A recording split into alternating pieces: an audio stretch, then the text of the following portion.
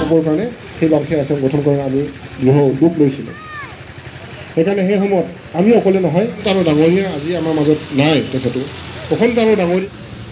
আজি এই সভাখন বা আজিৰ এই অনুষ্ঠানটো নিশ্চয় এটা আমাৰ কাৰণে এটা স্মৰণীয় দিন।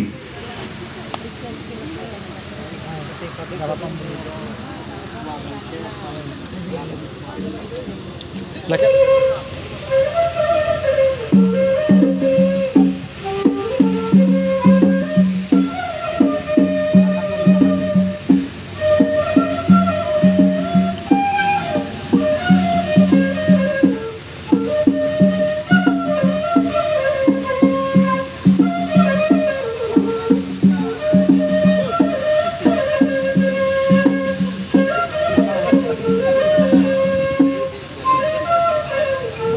যিহেতু কাৰি বামচে আছে আপোনালোকৰ জাতীয় সংগঠন জাতীয় সংগঠন হিচাপে জাতীয় সংগঠনৰ যিটো চৰিত্ৰ এই জাতীয় সংগঠন চৰিত্ৰ সদায় অক্ষুণ্ণ ৰাখিব লাগিব।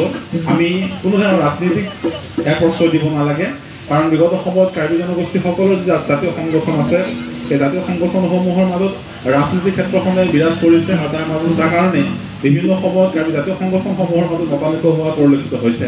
গতিকে আশা কৰিছোঁ বামচে আছে যিহেতু বামচীসকলৰ দ্বাৰা গঠিত সংগঠন আৰু মুৰব্বী সংগঠন গতিকে এই মুৰব্বী সংগঠনটোৱে অনুভৱ তেওঁলোকৰ যিটো অৰাজনৈতিক চৰিত্ৰ সেই অৰাজনৈতিক চৰিত্ৰটো সদায় অক্ষুণ্ণ ৰাখিব লাগিব সদায়